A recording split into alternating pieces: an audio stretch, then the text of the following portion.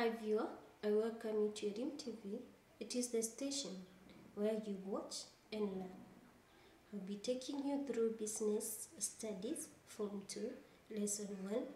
The topic it is forms of business units. I'm your tutor Lucy Mudhoni. Let us look at our lesson goals today. We are going to look at uh, sole proprietorship. So by the end of the lesson, the learner should be able to discuss the sole proprietorship. Now, when we talk about sole proprietorship, uh, we are go- before we get to that, we are going to look at general thing that is where, how is it started, how is it managed, uh, where does that uh, person get the, the capital to start the business, or that is what you are going to deal with in this topic. But before we get to that, um, we want to look at the business unit. Now, when we talk about the business unit, these are firms that can be formed by an individual or a group of individuals or the government. Uh, so you can get that this is an organization or a firm that can be formed by either one person or a group of individuals or even the government. And when we talk about the business unit, remember they must be aimed at getting the profit. So when an individual starts uh, an uh, business unit, a firm, that one would- it is the one that we are referring to it as the sole proprietorship. When a group of individuals, it can give us the partnership, it can also give us the cooperatives, it can also give us the, comp- the, the companies. So we get a number of them. And when government start these firms, they can be parastat- parastatals and public corporations. So you can get all that uh, as business unit. In this topic, we shall discuss business unit with regard to their ownership, formation, management, sources of capital, dissolution, advantages and their disadvantages. And we are starting with the first one, that is the sole proprietorship. Now, when we talk about the sole proprietorship, as you can be able to see um, in that uh, image that we have there, we have a number of them. And these business organizations that we have, we have classified them according to their ownership. Who owns the business? Farm. We have sole proprietorship that is owned by only one person. We also have partnership, cooperative, and corporations. We start with the first one. That is um, the one that we are referring to it as the sole proprietorship. One, we look at who owns the business, ownership. This is the business owned by an individual who is referred to as the sole proprietor or the sole trader.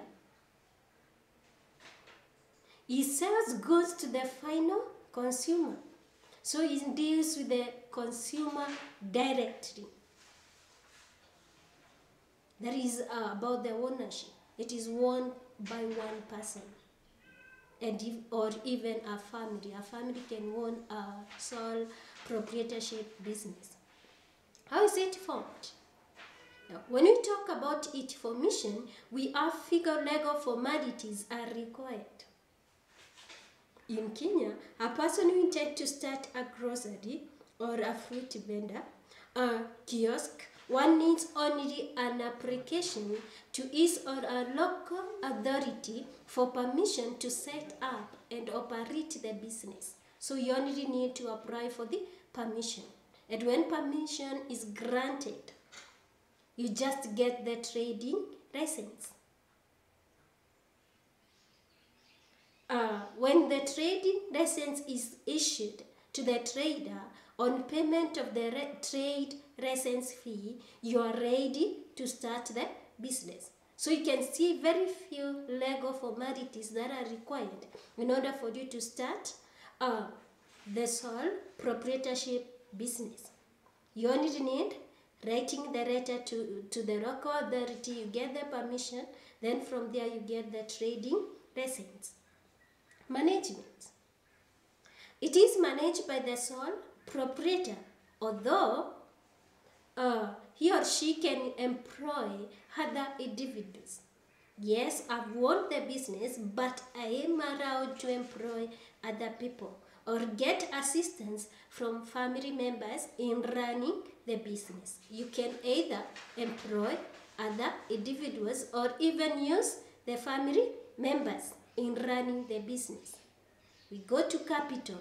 Where does this person get the capital? The main source of capital is one owner's saving or this sole proprietor savings.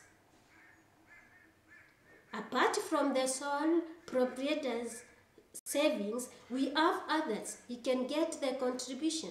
He can contribute from the family members. That is one of the so other sources. Contribution from the family members. You can also borrow from friends, from the bank as loan.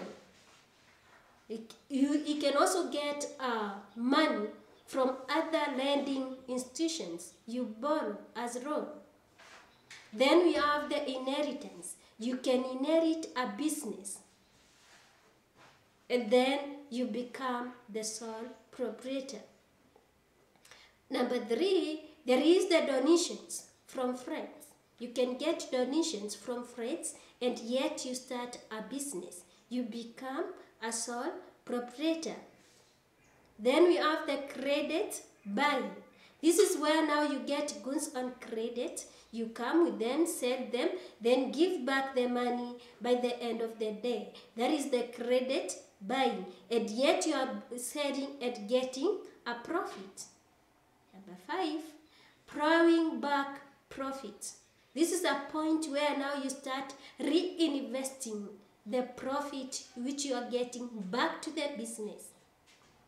Number six, there is the leasing and renting out property, where now you lease either one of your properties in order for you to get money to start a business, or even you can rent it. Those are the sources for the activity. You can be able to see before you go to the activity, you can be able to see how the sole proprietor uh, looks like. Is the one to provide the capital? Is the one to incur the debts? Is the one to pay them? Everything is going back to the this owner of the business. You're the one to do the management, you're the one to fund the, the business, and also you're the one to make even all the debts, pay them. You invest your money there and you cater for all the liabilities, all the debts. You cater for them. Activity for today. Explain four sources of capital for sole proprietorship. For reference, you can get the KLB 2011 Inventor Secondary Business Student Book 2, that edition. If at all you have, uh, you have any, any information you, you require to get us, you can send an SMS. You can also visit the YouTube. You can get us from the Facebook and also you can Twitter us. Stay tuned to Elimu TV. Thank you.